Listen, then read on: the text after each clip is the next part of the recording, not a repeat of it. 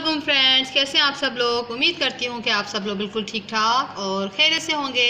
तो Nabila food diaries में आज नबीला आपको वेलकम करती हैं और आज हम नबीला अपने किचन में बना रही हैं ईद स्पेशल कलेजी मसाला जी हाँ बहुत ही आसान रेसिपी और इन आप लोगों को पसंद आएगी। थोड़ी सी डिफरेंट है। इसमें प्याज, टमाटर कुछ नहीं डालना, सिर्फ़ लहसुन, अदरक के पेस्ट में हम इसको मसाले डाल के और इसको हम पकाएँगे। तो इन आपको मेरी रेसिपी पसंद आएगी। तो चलते हैं अपनी रेसिपी की तरफ़। यहाँ मेरे पास हाफ़ के जी जो है कलेजी है, जिसको मैंने अच्छी तरह से नीट कर लिया है और इसको धोने का तरीका जो है आपको डिस्क्रिप्शन मिल जाएगा। और यहाँ मेरे पास है साबुत धनिया, तकरीबन एक टेबल स्पून के बराबर है और यहाँ मेरे पास है छः से सात लौंगी मिर्चें हैं साबुत और ये है नमक एक टेबल स्पून भर के और ये है सोया सॉस एक टेबल स्पून और यहाँ दो टेबल स्पून भर के मेरे पास है सिरका और तकरीबन दस से बारह तो मेरे पास काली मिर्च हैं। ये है ज़ीरा सफ़ेद इसको जो है आ, मैंने तकरीबन एक टेबल स्पून ये भी ले लिया है और यहाँ मेरे पास अदरक और लहसन का पेस्ट है एक एक टेबल स्पून ठीक है ना? ये भी मेरे पास एक टेबल स्पून है लहसन और अदरक का भी जो है मेरे पास एक टेबल स्पून है। इनको मैंने बिल्कुल पेस्ट नहीं किया थोड़ा सा दरबड़ा रखा है। तो सबसे पहले मैं क्या करूँगी हमने तीन मसालों को सबसे पहले रोस्ट करना है। लौंगी, मिर्च, साबुत धनिया और ज़ीरा, काली मिर्चें। इन चार मसालों को हमने पहले हल्के आँच पे इसको जो मैं रोस्ट करूँगी। रोस्ट करने के बाद इसको हम ग्राइंडर में ग्राइंड करेंगे।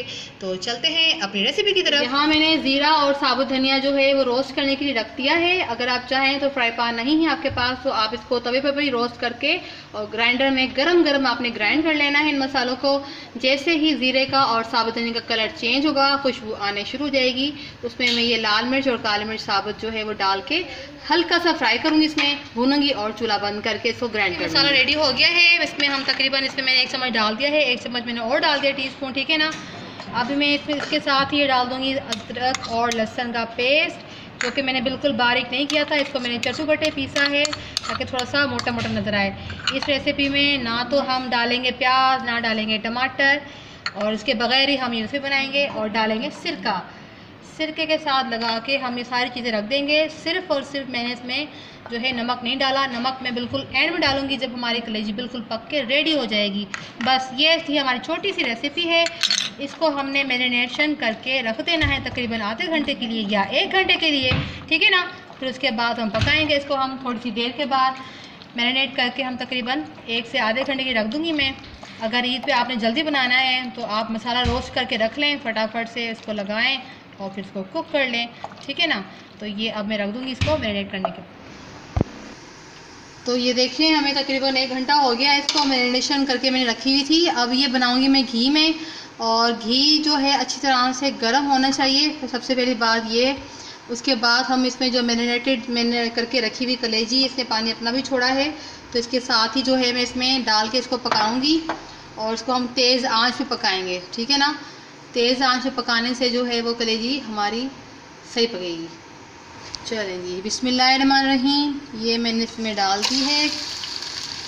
ठीक है ना? सारा कलेजी और सारा इसका जो मैरिनेटेड मसाला था, सारा के सारा मैंने इसमें जो है वो शामिल कर दिया है। अब इसको मैंने पकाना है। घी के अंदर इसके अंदर कोई एडिशनल चीज़ नहीं जाएगी, बस जब ये हमारी इसकी बॉडी नरम हो जाएगी, कलेजी की, उस टाइम हमने इसके अंदर जो है वो नमक शामिल करना है।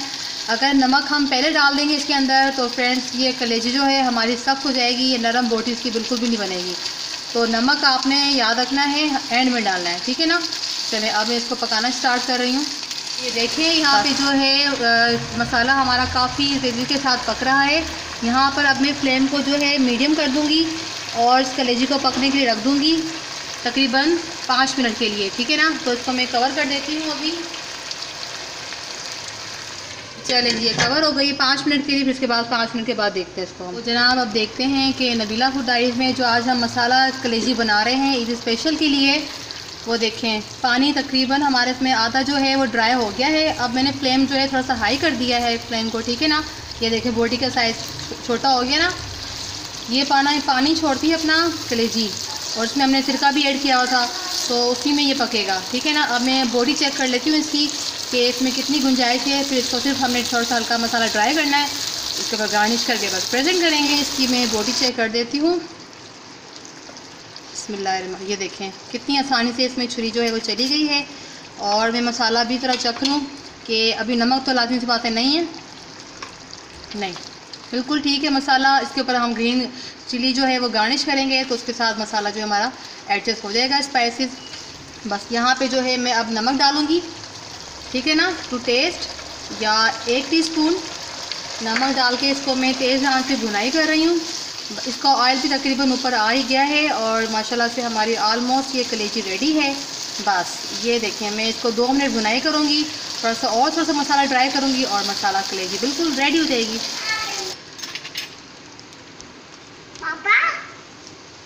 तो ये देखें, हमारा जो है आज की माशाल्लाह कलेजी मसाला जो है, मसाला कलेजी Eid special Nabeela food diaries में बन रहा है। बहुत ही मज़े का, बहुत ही आलिशान खुशबू आ रही है और लग रहा है कि बकरा ईद है, लेकिन बकरा ईद अभी कुछ दिनों बाद है। ये आप लोगों स्पेशल मैंने बना के जो है ये रेसिपी जो है अपलोड की है कि मेरे दोस्त जो हैं इस रेसिपी को पहले से देखें और प्रिपेयर हो जाएँ। ईद पे जो है सबसे पहले जो है कुर्बानी के बाद फटाफट से कलेजी भुने और फिर घर वालों के सामने जो है वो सर्व करें। ये बहुत ही जल्दी से पकने वाली है। इसमें देखें, फटाफट से 10 मिनट के बाद इसकी बॉडी कितनी नरम हो गई, है ना? तो ये हमारी बिल्कुल रेडी हो गई है। इसका घी ऊपर से आ गया है। मसाला भी रेडी हो गया है। तो तो देखें कितनी मज़ेदार बनी है हमारी आज की डिश और नबीला फ़ूड डायरीज़ में हमने जो आज बहुत ही स्पाइसी और चटपटे स्टाइल की बनाई है मसाला कलेजी ईद स्पेशल ठीक है ना? तो ये ईद स्पेशल है बहुत देखें कितनी ड्राई ड्राई है। इसमें ना कोई हमने प्याज डाला है ना टमाटर डाला है इसके बगैर ही हमने बनाई है।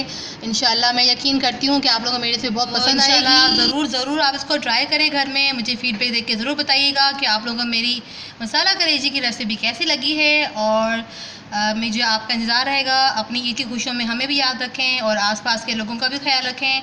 तो मिलते हैं एक और न्यू रेसिपी के साथ, लेकिन मेरे चैनल नबीला फ़ूड डायरीज़ को सब्सक्राइब करें लाइक करें कमेंट्स करें और बेल आइकन को ज़रूर प्रेस करें। उसकी आने वाली, इससे ये होगा कि मेरी आने वाली हर रेसिपी आप तक सबसे पहले आएगी, वो भी बिल्कुल फ्री तो अपना बहुत ख्याल रखिएगा। मिलते हैं एक और न्यू ईद रेसिपी के साथ। अल्लाह हाफिज़।